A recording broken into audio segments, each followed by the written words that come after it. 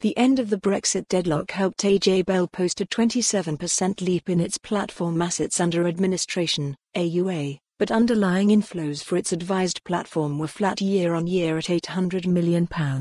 Its investment platform saw a 27% jump in AUA to £47.2 billion, a rise AJ Bell credited to having more political certainty after Boris Johnson's general election triumph. The investment house recorded a 4% climb in customer numbers to 241,152 for the three months to the 31st of December.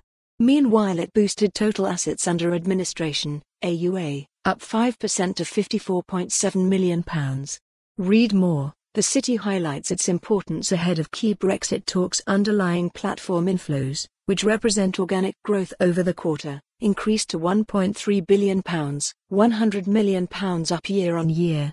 Our investment platform continues to attract new customers and assets as we maintain our focus on being the easiest platform to use in order to help our customers to invest, AJ Bell Chief Executive Andy Bell said.